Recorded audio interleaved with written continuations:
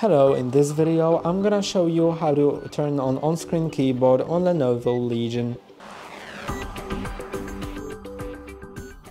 To turn on the on-screen keyboard there are two ways of doing that and both have different use cases. So the first one is by, if you have access to a keyboard, you can click on Windows Control and O on your keyboard and it'll open the on-screen keyboard. You can resize it, you can go to options um, to turn on the numeric pad or anything else.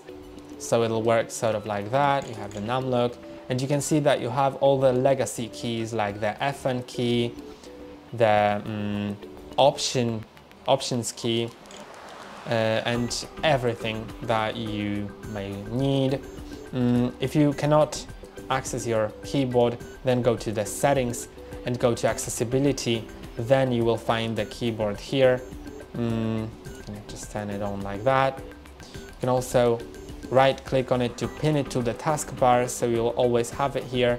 But there's also another way. If you have a touch screen, an external one or built-in, whatever you have, uh, then there is a better way to use uh, the keyboard. So go to personalization, then go to taskbar and set touch keyboard to always. Now you'll have the touch keyboard button here, you can click on it and it will display something like this. You can also set it to, a, to something different by clicking on settings, keyboard layout, you can set it to small, it will be undocked and floating.